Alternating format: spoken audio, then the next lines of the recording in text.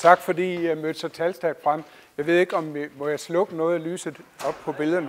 Øh, orienteringslys på, er det okay? Er det bedre, eller det for meget? Det går ikke. Det går ikke for dig? Altid. Nu ved, øh, jo, jeg vil fortælle om to ting.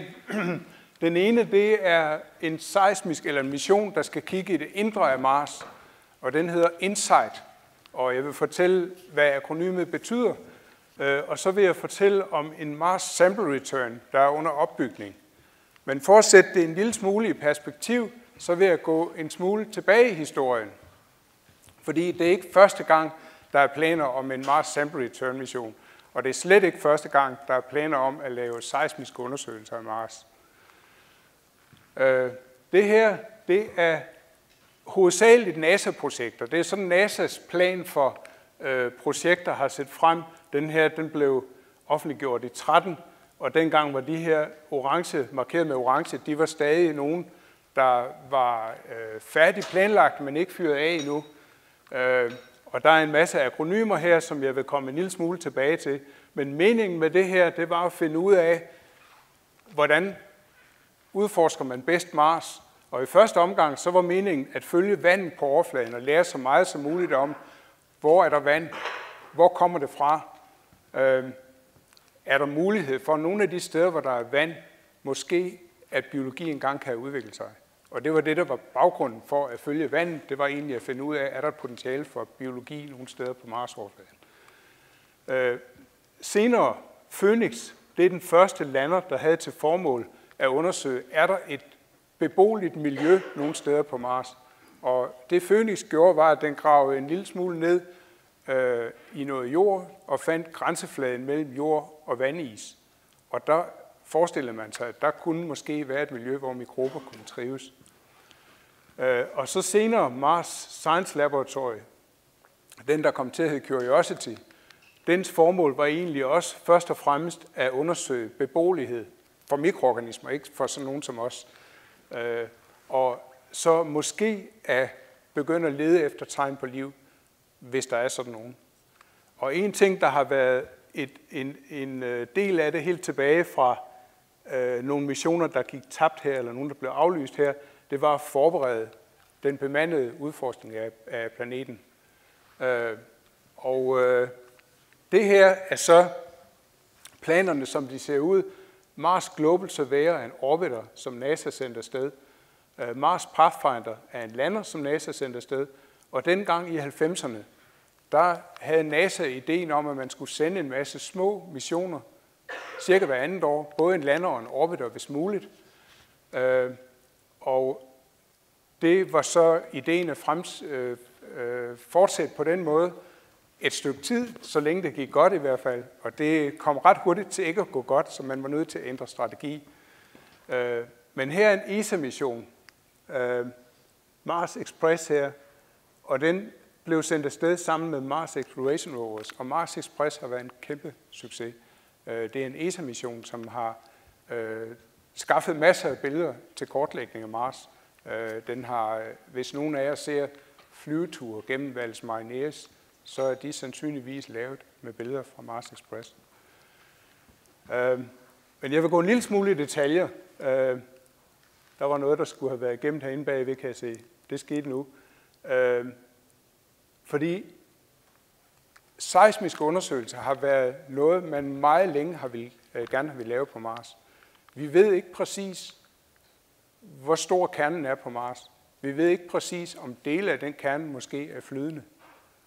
Øh, og der skulle være seismisk aktivitet på Mars, fordi der stadig er noget varme tilbage, så der burde være noget, man kunne detektere. Udover det er der meteornedslag. Vi kan se krater, nye krater opstå cirka 20-30 hvert år, og det skulle også give et signal, som hvis man lytter godt efter, kan få noget information om det indre af Mars' struktur. Og Jens Martin Knudsen, han blev tilbage i 89 inviteret med på nogle, det, der hedder Payload Definition Teams. Nogle hold, der skulle finde ud af, hvilken payload skal der være på de her europæiske missioner til Mars. Og øh, det her er et eksempel på sådan en lille lander, og det er næsten stort set kun et seismometer. Der er seismometer indbygget i dem, og ideen var i første omgang, at man skulle lave et, et helt netværk af dem. Øh, ambitionen, øh, en, en der hedder Philippe Londonier nu, en franskmand, han ville gerne have 16 lander fordelt i et netværk rundt omkring på Mars. Det viste sig at være så dyrt, så det var ikke, det var ikke noget, der sådan... Øh, det, det faldt altid på prisen. Eller også så senere begyndte man at forsøge at lave øh, Intermarsnet. Det står for et samarbejde mellem ESA og NASA, så så vil man dele halv skade.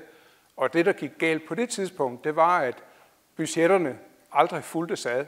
Så når den ene organisation havde penge til måske at starte noget, så knæv det med at få bevillingen fra den anden, og så fik man det ikke sat i gang. Men en masse studier blev lavet, og øh, Philippe Londonier, han ledede et team, der har bygget et seismometer, som i princippet har været klar til at flyve til Mars lige siden 2006. Eller 96 faktisk. Øh, det, har, øh, det er selvfølgelig videreudviklet siden, og det er faktisk hans seismometer, der nu er landsat med Insight.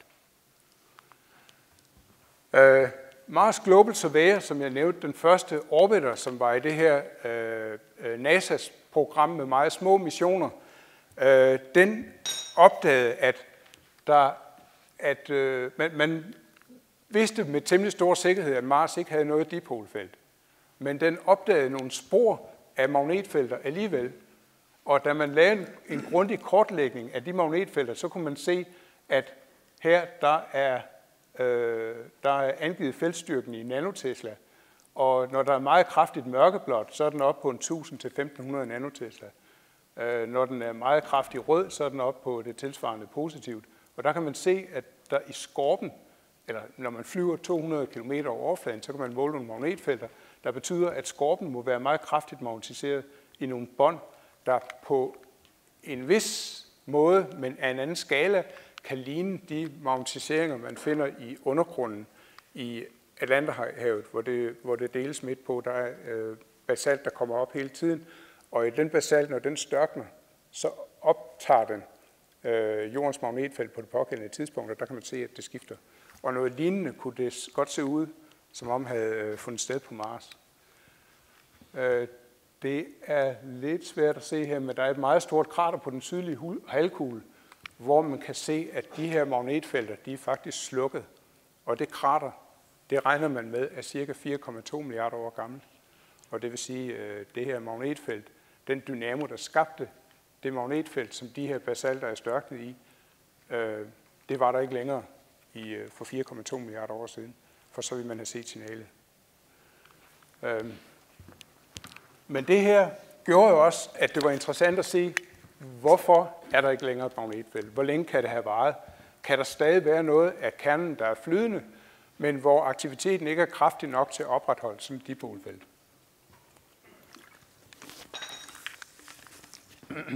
Så til det har man lavet uh, InSight-missionen. Uh, det er en enkelt lander med uh, meget, meget, meget følsomme øh, seismometer.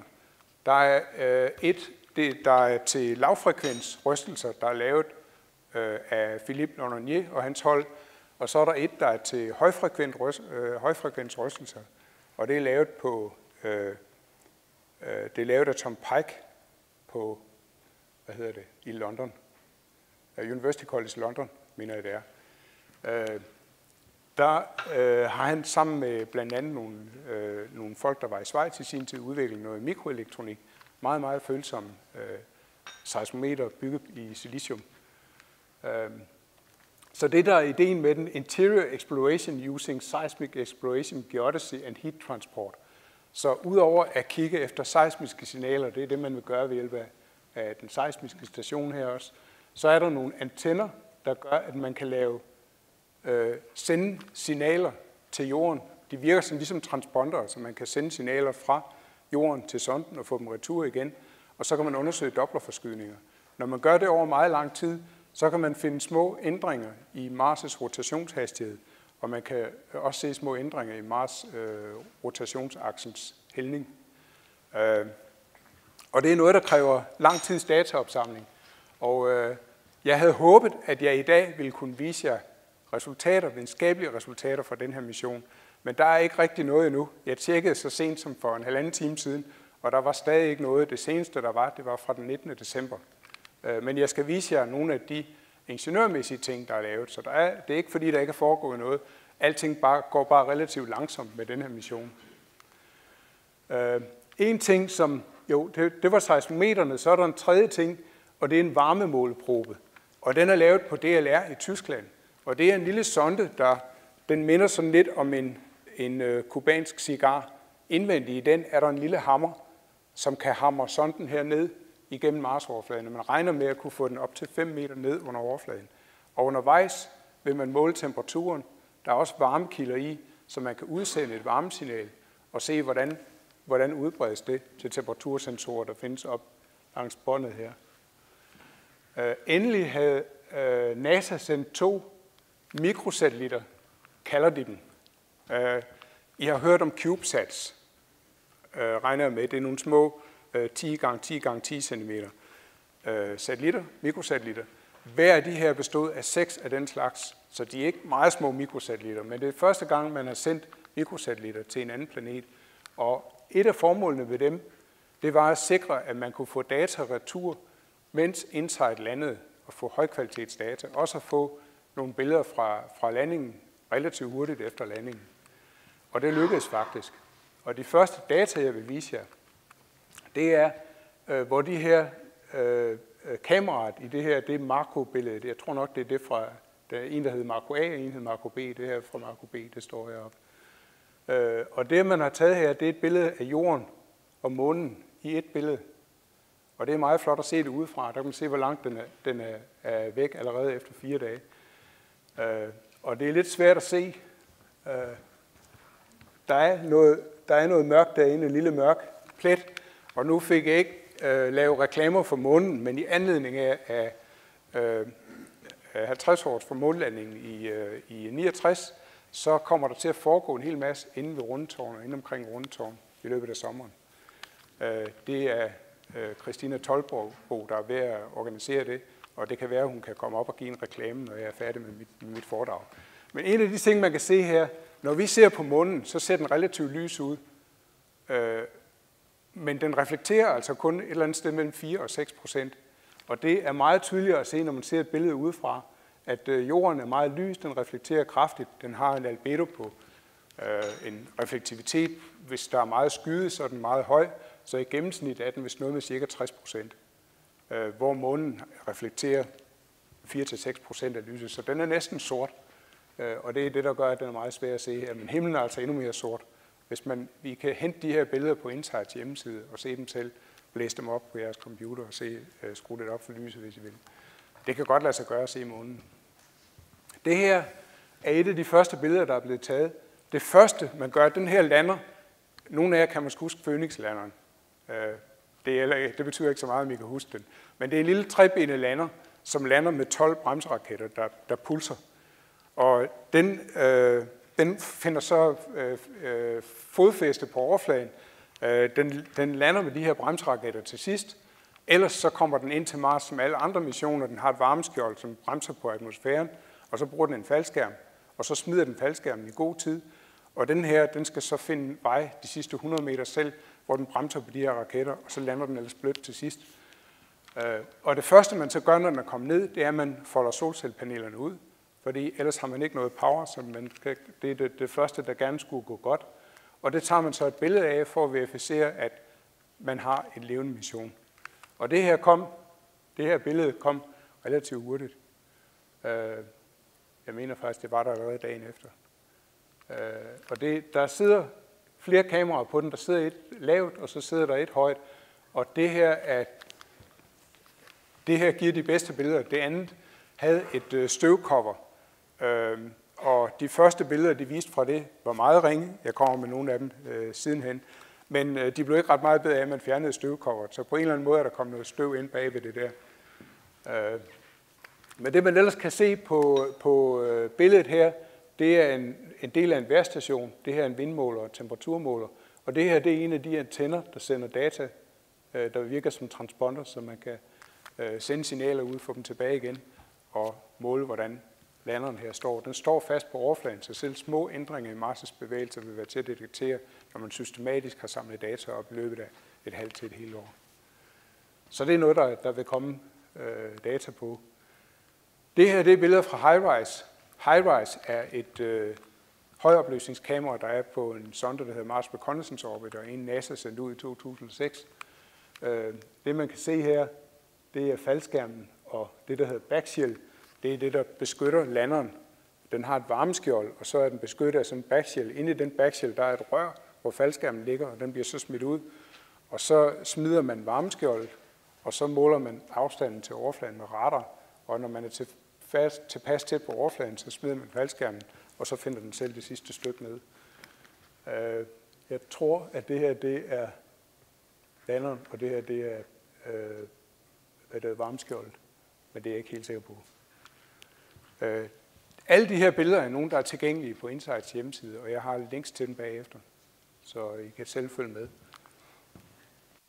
Øh, klokken, eller på Sol 10, den 10. dag på Mars, der havde øh, kameraet på robotarmen samle så mange billeder, som man kunne lave et komposit. Øh, så det her det er et billede af et selvportræt af hele landeren, når den står på overfladen. Øh, og det, man skal lægge mærke til her, det er, at tingene er meget kraftigt fortegnet. Øh, benene her, ja, hvordan er det? Jeg, jeg mener, jeg kan huske, at solcellepanelerne her er cirka 1,10 meter i diameter. Måske er det en lille smule større på den her.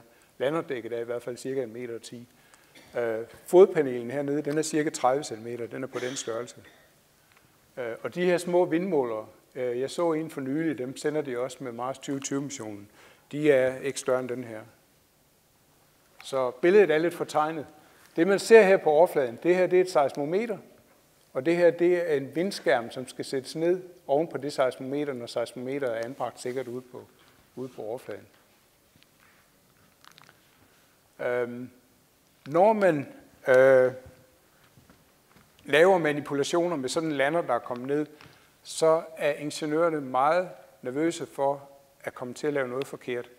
Så hver eneste lille detalje bliver trænet i en sandkasse, som vi plejer at kalde den. Jeg har sat den i godsøjen her. Øh, man har her en komplet model af landeren, og så er de ved at øve sig i her ved hjælp af robotarmen og sætte seismometeret ud. Og øh, seismometer er en meget kompliceret maskine, der ligger i et evakueret kammer, og det kammer bliver, det, det, det er indeholdt i sådan en termisk øh, indslutning. indeslutning. Og den har tre ben, som kan justeres. Så man sætter den ned på overfladen, og så tager man billeder af den og måler med nogle øh, inertial units, nogle, nogle øh, de hedder IMU'er, for det er nogen, der finder ud af, hvad er retningen af den lokale gravitationsvektor. Og så sætter man den sådan, så den ligger fuldstændig vandret. Og det gør man ved at justere de her ben. Og alt det her bliver gjort med stort set direkte øh, kommunikation til landeren. Så det er noget, øh, det er noget der, der tager tid. Man sender en lille kommando, så ser man, gør den, som den får besked på, og hvis den ikke den gør, så prøver man at sende kommandoen igen, eller prøver at finde ud af, hvorfor den ikke gjorde, som den fik besked på. Øh, man kan også se, at det er ret arbejdsintensivt. Der er temmelig mange folk om at få den her øh, til at køre, som den skal. Og de her ingeniører har forskellige opgaver. Asti er den eneste, jeg kender. Øh, han ledede også arbejdet med robotarmen på Phoenix-missionen i sin tid. Øh, jeg er ved at være gammel, og de fleste af de her de er yngre, så jeg kender ikke dem alle sammen. Jeg er ikke involveret i den her mission direkte selv. På overfladen, der ser det så, det her er lidt svært at se, fordi det er en lille smule mørkt.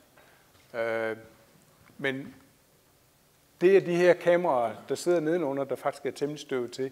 Og det, der sker her, er, at seismometeret bliver ved hjælp af robotarmen taget op fra overfladen af landeren, og så bliver det sat ned. Og det, man kan se, der er et kabel, der løber, der løber tilbage til landeren, og der er et eller andet ballast der midt på.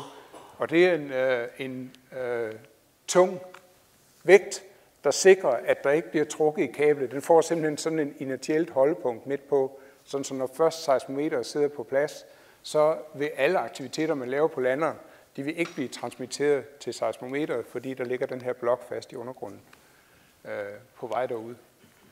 Her er en animation af, hvordan det ser ud, når den bliver sat ned. Øh, desværre er der ikke noget med, hvor, hvor, øh, håndtaget slipper. Øh, så, men man, man kan se, at den er uskarp, når den bevæger sig, og så falder den til ro. Når den står sikkert på overfladen. Det er lidt svært at se. Der er taget billeder to dage, og på det ene billede har den ene vinkel, på den anden billede der er den blevet rettet op, så den står vandret. Den her skal vist også kunne spille. Der justerer man en lille smule på kablet. Det er lidt svært at se. Men det her var den her vægt, der sidder midt i, der sikrer, at kablet er aflastet. Øhm, så der ikke øh, kommer interferens fra aktiviteter på landeren. Øhm, men det var, hvad jeg havde af insight. Der er ikke nogen videnskabelige resultater endnu, øh, og øh, de er ikke kommet så langt som til at sætte vindcoveret på øh, seismometer endnu. Så det, det tager altså lang tid. Og der er kommet billeder fra dag 58, så vidt jeg husker. Så det er noget, der går stille og roligt. Jeg tror, man skal vente nogle måneder, før der, før der kommer de første resultater. Øhm, vi har en kollega i, øh, på Niels Bohr Instituttet, der hedder Claus Mosegaard. Han er ekspert i analyse af seismiske data. Og øh, jeg håber, at han vil kaste sig over og arbejde med nogle af de her seismiske data, der kommer fra missionen. Øh, data fra sådan en mission, de bliver offentliggjort senest seks måneder efter, de er blevet optaget. Så det var ikke så længe. Så øh, skulle der være noget, hvis alt, om alt går vel, øh, man kan begynde at analysere på. Men Mars Sample Return, det betyder aktivt at bringe prøver, udvalgte prøver tilbage fra Mars. Vi har cirka 100 kg af meteoritter, sten, som er blevet slået ud fra Mars ved meteornedslag, og som så selv har fundet vej ind til jorden. De er, der har hørt Henning Hag holde foredrager øh, om meteoritter og deres oprindelse, de kan måske huske, at øh, Henning Hag han fortalte sådan et lidt overraskende resultat om, hvor sandsynligt det er, at sten, der bliver skudt ud fra Mars, de rammer jorden. Og cirka 25 procent af de sten, der bliver skudt ud af Mars, de bliver faktisk fanget af jorden. Så der burde være temmelig mange. Øh, og det, der er problemet ved at finde dem, det er, at de ligner sten fra jorden. Man skal se rigtig godt efter for at kunne finde ud af, at de faktisk kommer fra Mars. Så hvis man ikke har høstet dem et sted, hvor der ligger sten, man er sikker på at komme udefra, så kan det være meget svært at se. Ellers skal man se dem falde. Men hvis vi vender tilbage til den her, nu skal det ikke gå alt for, øh, for langsomt. Det her det er et billede af Spirit Opportunity, Mars Exploration Rovers. Dengang Pathfinder blev sendt afsted i 97, øh, der var der planer om endnu en mission. Øh, en, der hed Mars Climate Orbiter, som skulle afsted i 98, og en lander, der hed Mars Polar Lander. Og der regnede man så med i, i øh, løbet af den mellemliggende periode at udvikle en mission, der skulle afsted i henholdsvis 2003 og 2005, baseret på de roer her. Man var ved at designe nogle roer, der lignede de her, og øh, ideen var så, at de skulle lande to forskellige steder på Mars, køre rundt og indsamle nogle prøver, op til 10 prøver hver, som skulle anbringes i en lille kugle på størrelse med en appelsin. Og den skulle så sendes afsted, ligesom en sputnik fra overfladen, og så skulle den i kredsløb om Mars. Og der var ideen så at lave en øh, mission i samarbejde med ESA, der skulle ud og hente de her prøver i 2005. Og der regnede man med, at de ville være tilbage, sådan så vi ville have dem i laboratoriet til at studere udvalgte prøver i 2008. Øh, det kom ikke helt til at ske. Der skete en masse uheld, der gjorde, at man blev klar over, at det var ikke helt så simpelt. Øh, jeg nævnte Mars Climate Orbiter i 98. Den hørte man aldrig fra. Man fandt ud af, at man havde ikke været omhyggelig nok med at styre den på vej ud, så den brændte op i atmosfæren. Øh, Mars Polar Lander, den styrtede sandsynligvis ned den 3. december 99. Vi hørte heller aldrig fra den. Øh, desværre var alt det øh, udstyr, der skulle fortælle os, hvordan tingene gik undervejs, det var også blevet sparet væk. Så vi fik aldrig noget at vide om, hvorfor den gik galt. Men der er en hel masse gode gæt. Øh, så det var altså alvorligt dengang, man mente, at her havde vi nogle, øh, det, det var helt tilbage i øh, 99, man lavede nogle øvelser med øh, Field Integrated Design and Operations, hed den en feed øh, som de prøvede ude i Nevada. Det var en prototyp på den her, der skulle hente prøver hjem. Og øh, vi havde faktisk et hold studerende fra St. Knuds Gymnasium i Odense, der deltog i at, at, at køre den mission. Øh, og det var, øh, der, blev, der var fire amerikanske skoler, der havde studerende, der var med. Og så ville de gerne have nogle andre med fra, fra holdet på der Mars Exploration Rovers var ved at blive bygget op. Øh, og der var så, øh, der blev så udskrevet en konkurrence øh, i Danmark, og der var fire piger og en gymnasielærer fra St. Knuds Gymnasium, der vandt og fik lov at deltage. Og de rejste så til Pasadena, og en af mine unge kollegaer, der lige havde fået kørekort, øh, han måtte køre rundt med dem og deres lærer. Det viste sig, at de, deres lærer havde ikke kørekort. Øh, så phd studenten der, efter at have haft kørekort i tre uger, så kørte han rundt med en minibus med en gymnasielærer og fire studerende og deltog i det her. Øh, det var, det var lidt modigt. Han var også lidt nervøs ved det, men det gik altså fint alt sammen.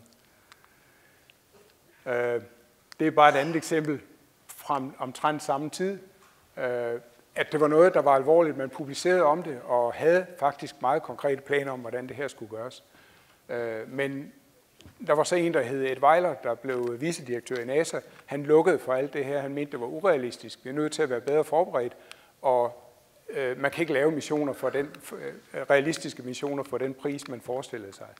Så tilbage til Mars Exploration Rovers. Øh, den, vi, vi, vi fik nogle resultater fra den. Der er en del magneter på, og øh, jeg vil fortælle om Jens Martin Knudsen igen. Øh, det, var han, det var ham, der fik overbevist NASA om, at der skulle magneter med Pathfinder, og han var chef for magnetholdet øh, på den her mission, indtil han gik på pension, og så overtog jeg øh, hans rolle på de her magneter, men han var meget aktiv med at udvikle dem. Og han havde arbejdet hele sin øh, videnskabelige, eller hele øh, de sidste mange år af hans videnskabelige karriere, der havde han arbejdet på at få et møsbauerspektrometer til Mars. Og det her, det er de første møsbauerspektre. Øh, det, de sorte prikker, det er et møsbauerspektrum, som er optaget af støv indsamlet på de her magneter. Øh, jeg tror, jeg har her, kan man se, øh, møsbauerspektrometeret sidder her, og der sidder magne, to magneter lige neden for øh, kameramasterne her, kameramasten. Og øh, der kunne vi altså få alle de her instrumenter fra robotarmen, dem kunne vi få op og studere støvet der. Og øh, det øh, spektrum her, det blev publiceret i en artikel i Nature, som blev tilegnet Jens Martin. Det blev dedikeret til ham. Han døde, inden han, han så resultaterne. Han var med til at arbejde med fortolkningen af dem, men han, han øh, var ikke med til at skrive paperet, Så det øh, fik vi dedikeret til ham. Øh, og det var lidt besværligt, fordi øh, vi ville gerne hele historien om, at han havde arbejdet meget længe på det her, og det var et mål, der var nået med, at vi fik de her data på stødet på magneterne, og det fyldte to sætninger. Vi kunne ikke gøre det på inden for et punktum.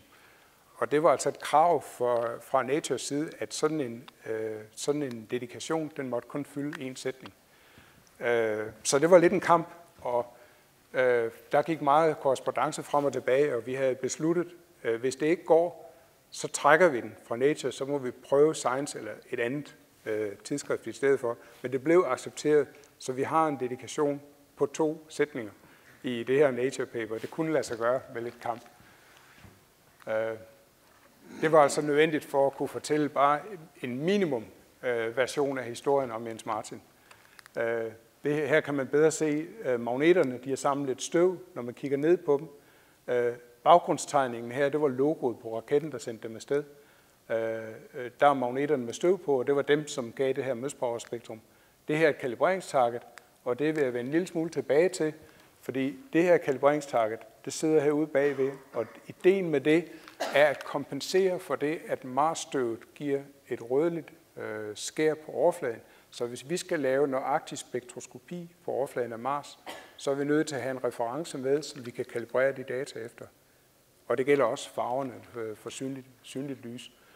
Øh, og en af de ting, vi havde fra en tidligere mission, havde vi samlet noget magnetisk støv, og vi havde fundet ud af, blandt andet med den her mission, hvorfor støvet er magnetisk. Det er det, fordi det indeholder magnetit.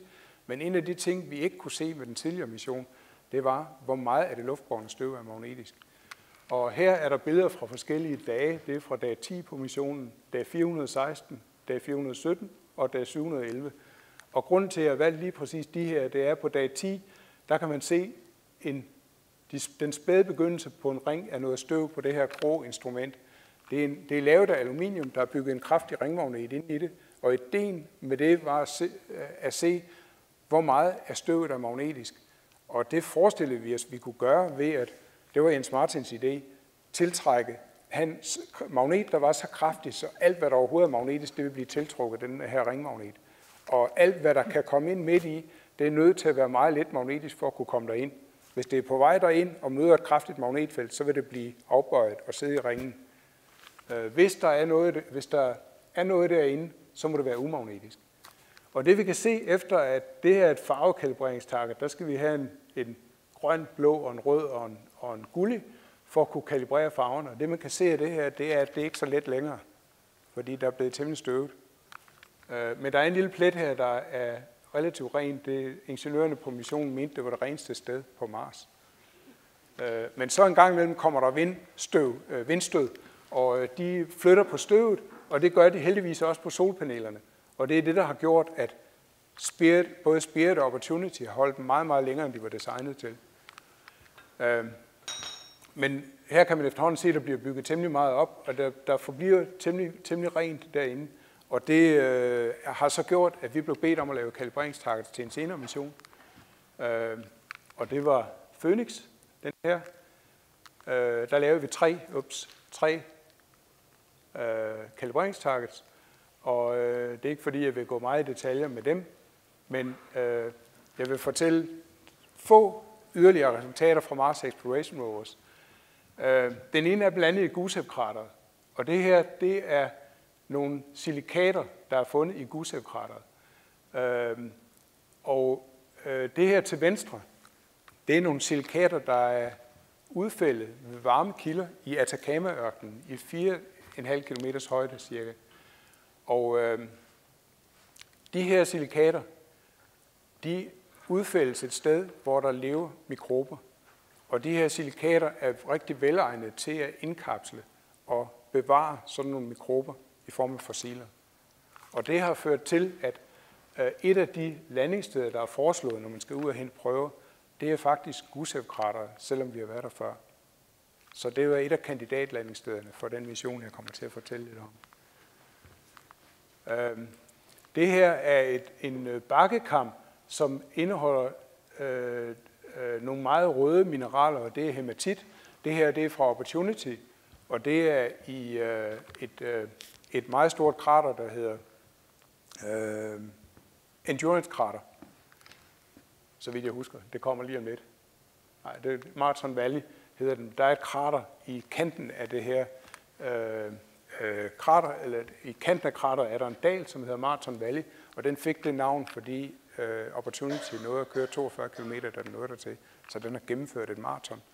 Og øh, her øh, har Jim Bell, som var hoveds, øh, hovedmanden på kameraet, han har lavet et meget smukt kompositbillede, og Steve Squires, han mente så, at det her var et passende sted at opkalde efter Jens Martin.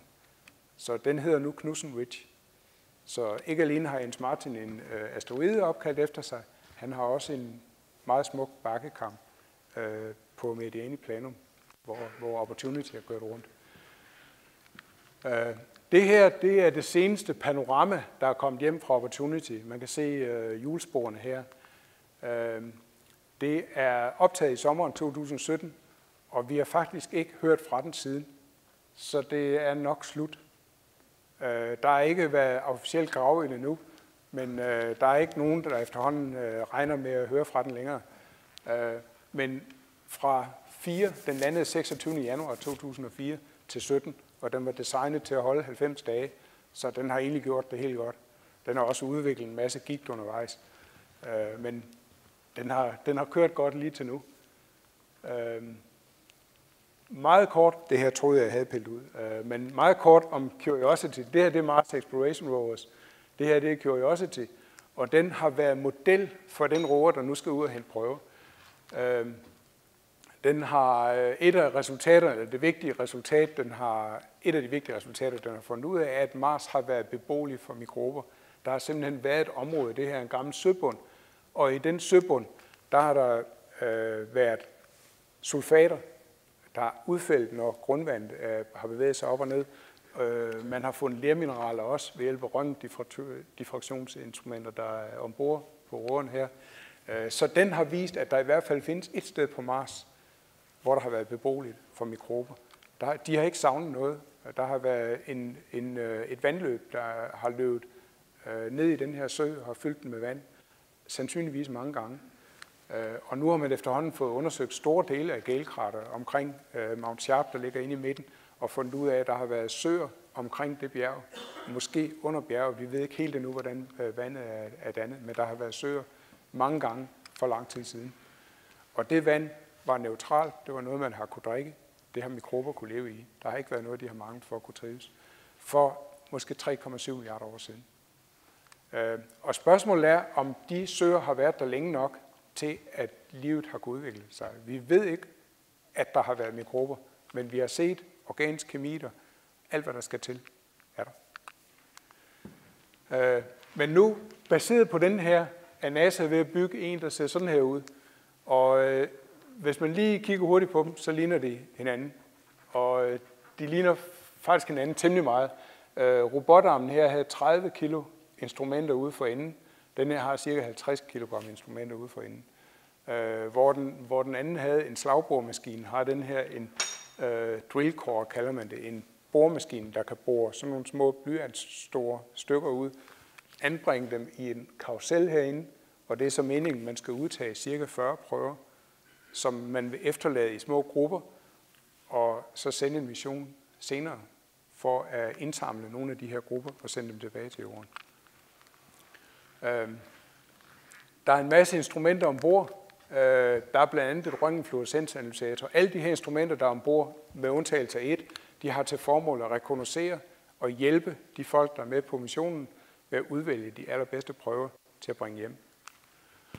Og øh, jeg vil fortælle lidt mere om, hvad det er for prøve øh, senere, men jeg vil lige nævne nogle af de instrumenter, der er ombord. Der er en, en radar, der kan kigge efter vand i undergrunden eller andre former for strukturer. Øh, det, det er ikke nødvendigvis vand, den ser, men den ser, øh, når et eller andet i undergrunden ændrer sig, sådan så man får refleksioner fra de strukturer i undergrunden, og her er en illustration af, hvordan det kan se ud. Øh, den hedder Rimfax og er bygget i Norge.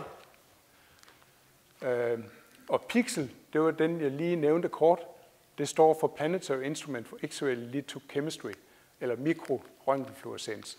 Og det den kan gøre, er, at den kan lave et, et øh, punkt, punktbillede på en sten. Hvis min hånd er en sten, så kan den lave sådan små øh, rester, så den kan lave enten en stribe eller en matrix af eller grundstofanalysepunkter. Øh, og øh, der øh, vil man meget gerne have en eller anden form for billede af den sten, man laver de her analyser af, så man kan se, hvordan er kornene i den, hvordan reflekterer den. Og til det leverer DTU et kontekstkamera, sådan så den tager billeder af det område, man laver røntgenfluorescensanalyse af. En ting, som gør det her meget avanceret, det her øh, DTU laver, det er, at udover at lave kontekstkamera, det er blevet noget mere sofistikeret, end det ser ud her. Der er lysdioder med, der kan belyse det område, man, man øh, tager billeder af.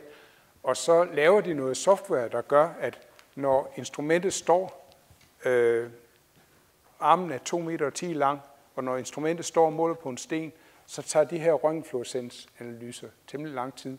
De kan tage en time eller, eller flere timer, og temperaturen ændrer sig op til 90 grader hver døgn. Og det vil sige, at man kan godt forestille sig, at robotarmen den giver sig lidt.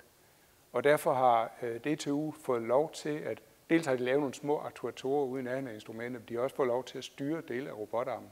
Sådan så de ved hjælp af det billede, kontekstkameraet tager, kan de holde, de kan holde billedet konstant ved at servostyre instrumentet, sådan så det altid står på samme måde. Og det betyder, at man kan lave de her røntgenfluorescensanalyser med meget stor nøjagtighed, så de hele tiden er det rigtige sted i forhold til, til hvor man har besluttet, de skal være på stenen. Så det er en avanceret ting. Det her er den slags data, man får ud af det. Der er peaks for hver enkelt grundstof, og den er følsom også for, for øh, lidt tungere ting. Øh, og øh, det er sådan nogle billeder her, et eksempel, hvor man har prøvet den på jorden. Det er sådan en lidt kompleks sten, hvor man har øh, så kortlagt for eksempel silicium, krom, aluminium, jern, svovl, zirconium. Så det er eksempler på den slags ting, man kan se. Og zirkon, zirconium er specielt interessant, fordi den findes i nogle, øh, den findes i nogle af de ældste sten, vi kender på jorden. Og den er meget velegnet til datering. Så hvis vi skal, øh, vi skal datere prøver, det er en af de vigtige mål med den her mission, det er at få nogle prøver hjem, som vi kan datere meget nøjagtigt, sammenlignet med de dateringsdata, vi har baseret på kratertællinger. De dateringsdata, vi har fra Mars, de bygger alle sammen på data, vi har fra månen, hvor vi har prøvet hjemme og har dateret dem i forhold til de modeller, vi har. Og øh, vi ved ikke rigtigt, hvor god sammenhængen er mellem månen og Mars, og det håber vi at kunne få kalibreret ved at få lavet nogle målinger af et eller andet, vi selv har valgt og kender kratertællingsalderen, og så kan tage nogle prøver derfra og få den dateret nøjagtigt, så får vi kalibreret hele tidsskalaen på Mars. Øh, også Københavns Universitet arbejder på dele af den her. Øh, dels et instrument, der hedder MOXI, eller et eksperiment, skal jeg sige. Det er det eneste eksperiment, som egentlig ikke er et instrument. Det skal bare vise, at det er muligt at lave, producere oxygen på overfladen af Mars øh, ved elektrolyse af CO2 direkte fra atmosfæren. Øh, og øh, en af fiduserne ved det, som chefen for instrumentet siger, det gør ikke så meget, at det går i stykker. Det, der er vigtigt, er, at vi skal bare vide, hvorfor det går i stykker, og hvad det er, der er svagheden ved det, sådan så vi kan konstruere det bedre næste gang. En anden ting, det skal bruges til, det er at skalere de forskellige komponenter, fordi den her er lavet til at producere 10 gram O2 per time. Og når vi skal have folk hjem fra Mars, så er det, så er det nødvendigt at producere 3 kg i timen. Og det vil sige, at det her instrument skal på en eller anden måde skaleres. Øh, processen foregår ved 800 grader, og det er relativt dyrt i et lille eksperiment, øh, så man kan godt varme sådan en lille celle op, øh, og det kan man også, når den er større, men det bliver relativt mindre, tabene bliver meget mindre, når man skal lave en stor produktion. Øh, så det, øh, det er den slags ting, vi skal lære ved hjælp af det her eksperiment. Men det var en ting, som var et krav. NASA ville gerne teste det her nu, for de har ambitioner om at sende folk ud i begyndelsen af 40'erne. Og skal det ske, så er man travlt. Så er det nu, man skal i gang. Øh, så er der øh, hvis vi begynder hernede, det er Mastcam. Det er nogle kameraer, der sidder heroppe under den hvide boks. Der sidder to kameraer. Der sad også to kameraer tilsvarende på Curiosity, men de havde fast brændvidde. Den mulighed, at man kunne zoome med kameraerne, den blev pillet af, øh, fordi NASA følte sig ikke overbevist om, at det ville virke dengang.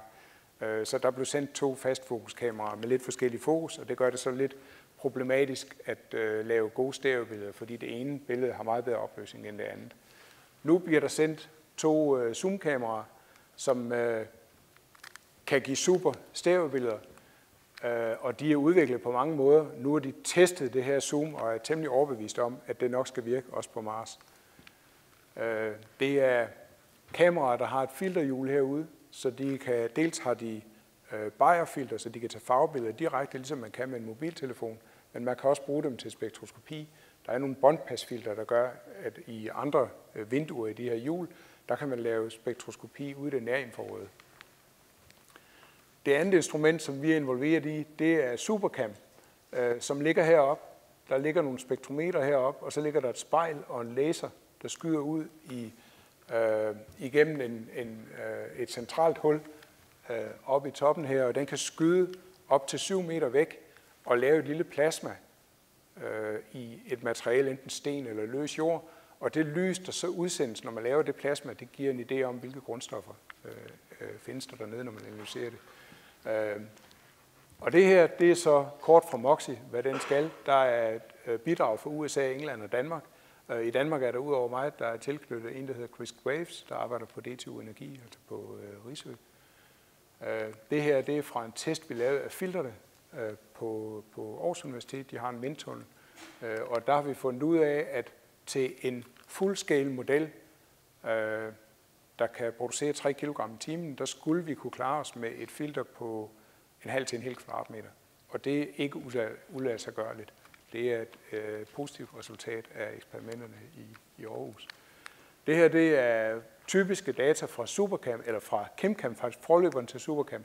Jeg har ikke nu data fra Supercam, jeg kan vise jer. Øh, jeg er med på holdet, men øh, vi har haft et uheld med kamerahovedet. Øh, der var noget lim, der skulle hærde, og øh, det, øh, det blev så varmt til en lidt for høj temperatur, så øh, øh, franskmændene er nødt til at bygge et nyt. Det er, jeg skal vise jer nogle andre ting, der kan gå galt. Nogle gange går der noget galt, når man, øh, når man skal teste nogle af de ting. Det her er faktisk en af de ting, som gik galt. Vi lavede, øh, Danmark leverer nogle små elementer til kalibreringstakket til Supercam, og fordi man gerne, når man skyder ud af overfladen, så vil man gerne have et eller andet med, som er mineraler, man kender hjemmefra, og prøve at se, hvordan ser de ud, når man analyserer med apparatet ude på Mars, så man er sikker på, at man måler rigtigt. Øh, Udover det er der, øh, jeg lige komme tilbage her til, udover det er der nogle øh, øh, infrarøde spektrometer, øh, visible and near infrared. Det går faktisk helt ud til 2,5 mikrometer. Det vil sige, at man kan bruge det til en hel masse mineralogiske undersøgelser. Og så er der et rammespektrometer. Og til det har øh, vores franske og amerikanske kollegaer bedt os om at levere en hvid og en sort til kalibrering af infrarøde og farvekameraerne, og øh, en øh, rød, grøn og en blå. Øh, og dem vil de gerne have holdt støvfri. Så vi har lavet dem med nogle magneter, og øh, her er en test, en choktest. Det, det er et stempel, der bliver skudt af nedefra, og som slår på en stor blok, som den her er spændt på. Og det, der skete her, det var ikke så godt. Øh, det, det viste sig, at øh, magneterne de var ophængt i nogle, øh, eller de var ophængt med en fjeder bagpå, og det havde man regnet med kunne holde dem på plads. Det kunne der altså ikke helt. Så de slog mod kanten derinde, og magneterne faldt fra hinanden, og så faldt de her targets ud. Øh, Udover det havde vi brugt en lim, som ikke var god nok til det her. Og det er en meget stor del af det her, det at finde ud af, hvad skal man bruge for en, øh, for en lim. Øh, så nu har vi fundet en, der kan holde. Og øh, vi har gennemført en test i Spanien, Øh, her er det mest med vores targets, fordi det var dem, der var mest sårbare. Øh, og der er en, der hedder Miguel her, der skyder en, med en øh, boldpistol ned i en lille aluminiumsklods. Og den ser ret hervet ud bagefter. Over i den anden ende, i forhold til hvor en skyder, der er vores instrument ophængt. Og der kan vi lave et chok på 4.000 G. Og det er det, den skal kvalificeres til. Øh, her lykkedes det. Øh, det var i øh, efteråret 16 at det lykkedes at få det der efteråret 17, at det lykkedes at få det her til at, at Øh, blive kvalificeret. Og nu har jeg lige været dernede i øh, december og samle en flight-model, to flight-modeller, en flight og en flight spare. Og her er den her body unit, som er ved at blive bygget, og det er en mast unit, som de er ved at lave en ny af, fordi der gik noget galt, da de varmebehandlede den. Øh, det her, det er engineering-versionen af de her kameraer, og der, jeg nævnte lige, at den, den blå, grønne og den røde her, det er farverne i et bajerfilter. Det er det, I har i jeres mobiltelefon, når den laver farvebilleder. Og der, der er så, dem kan man tage billeder af direkte, så man får et farvebillede i et hug. Og så kan man lave billeder igennem nogle andre vinduer, hvor man kun kigger for eksempel ved 440 nanometer, eller ved 532 nanometer, eller ved 600, og helt op i det infrarøde. Og man kan se heroppe bliver det sværere og sværere på grund af bajerfilteret, Men man kan stadig lave nærinfrarød spektroskopi heroppe, og det er det, de skal bruges til videnskabeligt. Så det kan lade sig gøre med dem. Og her et eksempel på, nu er der en lille smule rødligt herinde, øh, men det her er et eksempel på, hvordan overfladen typisk ser ud i det lys, man har på Mars. Og det her er, hvordan den ville se ud, hvis vi havde den samme scene på jorden. Og det kan vi gøre ved, når vi tager billeder ud på overfladen, så tager vi næsten samtidig billeder af vores kalibreringstarget, og så kan vi kalibrere, øh, rette billederne op, som de ser ud, som de ville gøre, hvis man havde hvidt lys der. Og det kan vi også gøre med spektrene helt ude i det infrarøde. Det her det er fra en øh, rystetest op ved øh, Fors, hvor det færdige kalibreringstakket er pakket ind i noget folie, og så bliver det rystet. Det her skal kunne holde til 2000 G. Øh, og grunden til, at de skal kunne holde til de her meget kraftige accelerationer, det er, at de sidder ret tæt ved et sted, hvor øh, når, når roeren her lander, så er den hjulophæng pakket op under den, og det bliver så øh, frigivet med nogle små sprængbolde, så hjulophængen kommer til at falde ned, og de her sprængbolde, de springer med en meget, øh, med et, et kraftigt brag, og øh, kalibreringstakket til Supercam, det sidder sådan cirka 25 cm fra den her sprængbold, hvor øh, det her kalibreringstakket, det sidder cirka 40 cm fra. Og det ene, det er altså 4000G, det andet er 2000G. Øh, så det, det er ret voldsomme ting, vi skal holde til. Øh, her har jeg en film, jeg håber jeg har tid, fordi øh, den, den, det her er en choktest. Og det man gør her, er, at man spænder, vores target sidder heroppe på en lille holder, på en stor aluminiumsholder, og den sidder så på en jernklods, som sidder på et apparatur, der vejer en 300-400 kg. Øh, og det man så gør, er, at man, man bruger pneumatik til at trække den ned og ramme en plade her med et brag. Og øh, jeg går lige ud af den her et øjeblik. Jeg kan ikke lade være at grine over Kjartans reaktion her. Mm. Og det er fordi, hans hoved gør næsten det samme som det udstyr, vi chokerer. Øh, choktesten gik rigtig godt, og det var egentlig den, vi var bange for. Vi flyver nogle keramikker, som aldrig nogensinde har været fløjet til Mars før. Øh, det er de her små, der sidder rundt i ringen her. Og det, der så skete, øh, den, det den også skulle kunne holde til, det var 400 temperaturfluktuationer mellem minus 135 og plus 75 grader. Og det øh, første omgang, vi gjorde det, der revnede nogle af tingene. Nogle af de her ringe, der ligger inde midt i, de revnede. De kunne ikke holde til de her temperaturfluktuationer. Så fik vi at vide, at vi skulle ikke lime dem så grundigt. Øh, vi skulle bruge en anden lim, der var specielt egnet til keramik. Nøjes med at lime dem med nogle få pletter. Øh, lidt, lidt flere, end det ser ud til, der er hæftet her. Øh, og så prøve igen. Og det gjorde vi så, og det der skete var, at den her, den gik løs. Det var svært at se, når den sad der, men hvis man vendte bunden i hvert andet, så faldt ringen ud.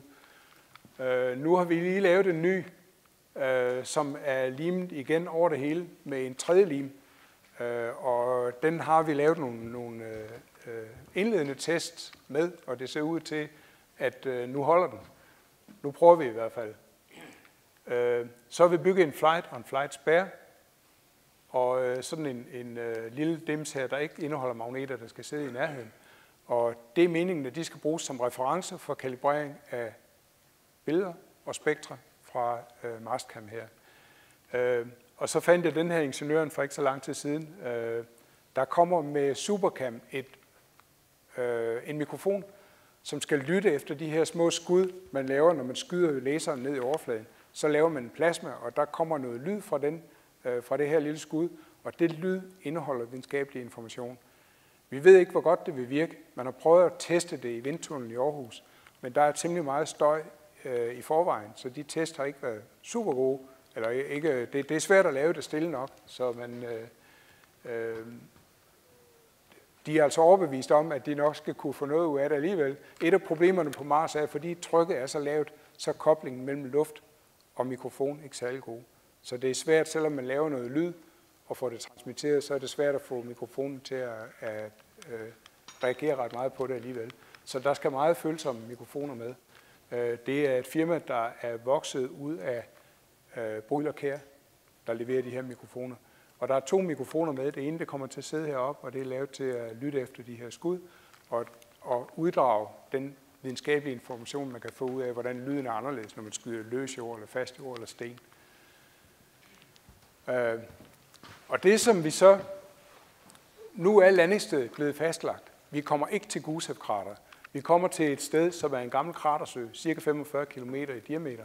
Og der er et indløb her, der er løbet vand ind i, og der er nogle store aflejringer her, som er aflejret, mens der var vand i søen her.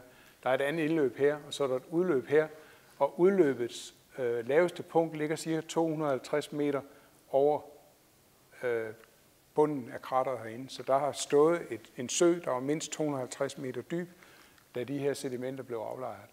Og de her sedimenter, jeg får at give en idé om det, dem er der kender lidt til Mars' geografi. Isidis er et meget stort krater, der ligger på den nordlige halvkugle. Øh, men der ligger områder, der ligger relativt højt, som hører til højlandet heroppe, og Dieso-krater ligger lige midt i, men det ligger altså et sted, hvor der er afvanding, afvanding fra et større område her. Øh, og det har betydning, hvis man skal se, øh, se efter organisk kemi fra fossiler for eksempel.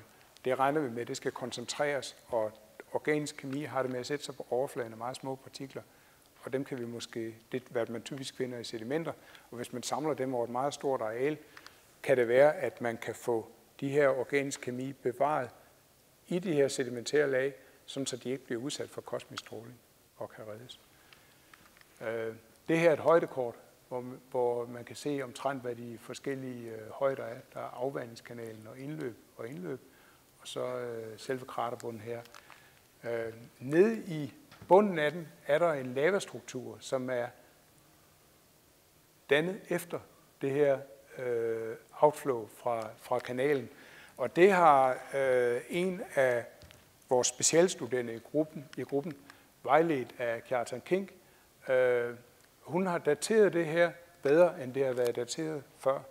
Og det vil sige, øh, hun har lige indsendt det her manuskript, og øh, der har været noget temmelig stor usikkerhed om dateringen af, af den her lava, og det er den lava, vi lander på, og derfor regner vi med, at det her paper med hendes øh, meget fine resultater vil blive velciteret, øh, når først vi lander. Øh, det her er krater, der er Dieso-krater her, og der er det område, som afvandes af den, af den øh, vestlige inflow, og det er det område, der afvandes af den nordlige inflow. Og det her er et geologisk kort, så de forskellige farver, der illustrerer forskellige geologiske øh, øh, formationer eller geologiske aflejringer. Her er øh, deltaget igen aflejret ved, at øh, noget er løbet ud her. Det her er den basalt, vi lander på. Og her er der dele af deltaget, som står og stikker op her.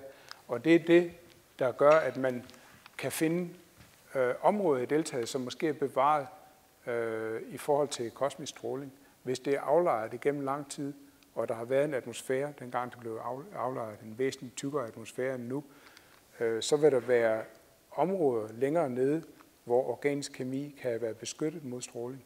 Og når det så er eroderet videre, så kan man være, være heldig at finde et væg, hvor man kan komme hen og undersøge det til bunds. Så det er vores håb. Øh, det var for, det var for organisk kemi, men basalten er interessant i sig selv. Den er, basalt, den er interessant at datere, både fordi øh, Stephanie er interesseret i kendetallet sammenlignet med de, de resultater, hun nu har, men også fordi det kan bruges til at justere øh, den, den relative tidsskala, så den bliver absolut på Mars, ligesom vi øh, har den på månen. Og her er øh, igen lidt, vi regner med at lande cirka herud, der kommer en tegning af, hvordan vi kan lande. Vi ved, det er landingsellipsen, og vi ved ikke, hvor i landingsellipsen vi lander. Men det kan tænkes, man lander lidt østligt, det kan tænkes, man lander lidt vestligt. Og der er, så, der er man så begyndt at planlægge detaljer. Hvordan har man tænkt sig at øh, køre frem, afhængig af, hvor man lander, og hvilke steder vil man besøge. Øh, der er her i februar en større øvelse, hvor vi, skal gennem, hvor vi som hold skal træne, hvordan vil vi håndtere forskellige landingsscenarier. Vi, det, vi bliver kun udsat for et, men der skal vi så finde ud af at arbejde sammen som hold på at lave de øh, undersøgelser, vi nu vil lave, der hvor vi lander. Og det her det er et eksempel på den type af prøver, man vil kunne opsamle undervejs.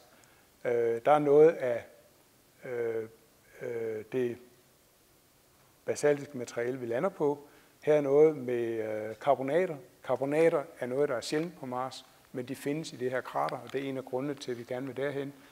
Øh, her er noget med øh, aflejringerne, og der er noget grundfjeld her, eller regulit, det er noget løst, der, der ligger heroppe. Så vil man have nogle, man har nogle prøver med på roeren, som man kan tage til at verificere, at de prøver, man tager ud i landskabet, ikke er kontamineret. Hvis man finder kontamination i de her, så er det noget, man også må regne med øh, påvirker de prøver, man samler ud i landskabet. Så derfor er det vigtigt at have nogle referencer med, så man kan være sikker på, at der ikke er nogen form for kontamination i de prøver, man samler. Øh, hvad man gør, hvis det viser sig, at de er kontamineret, det ved jeg ikke helt. Altså, der bliver det i hvert fald vigtigt, hvad det er for kontaminanter, der er i dem. Men det her er en idé om, hvad kan man, hvad kan man nå at samle i det, man vil kalde den primære mission. Og den øh, øh, primære mission, den kommer nok til at vare en fem år eller sådan noget. Den nominelle mission, den som man skal gennemføre, den er 1,25 Marsår. Øh, det er den, vi har søgt penge til at, øh, at deltage i. Og her er så muligheder for at lave en extended mission, hvis man vil køre i meget lang tid, kan man køre op og se noget af det nordlige afvandingsområde, eller man kan køre op i et andet sted, og det er den, der nu er vedtaget som et, et mål.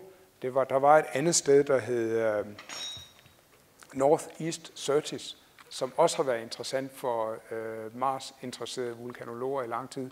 Der er en masse grundfjeld, der er nogle store blokke, der er smidt ud fra Isidis-krater, og der er noget, der er rigtig velegnet til datering, og der vil man kunne køre op til et sted, der ligger midt mellem Jezero landingsstedet og så det, der oprindeligt var North East Surtis. Og det her har man fundet ud af ved nærmere undersøgelser, at det kan besvare næsten alle de spørgsmål, vi havde hernede. Så der er to. Der er et, øh, først skal man undersøge området hernede. Det vil både give noget om datering, måske noget om potentiale for biologi, og så er det meningen, at vi skal kravle op i bjergene og undersøge en helt anden slags landingssted med den samme mission. Og det skulle være muligt, hvis den holder 10 år.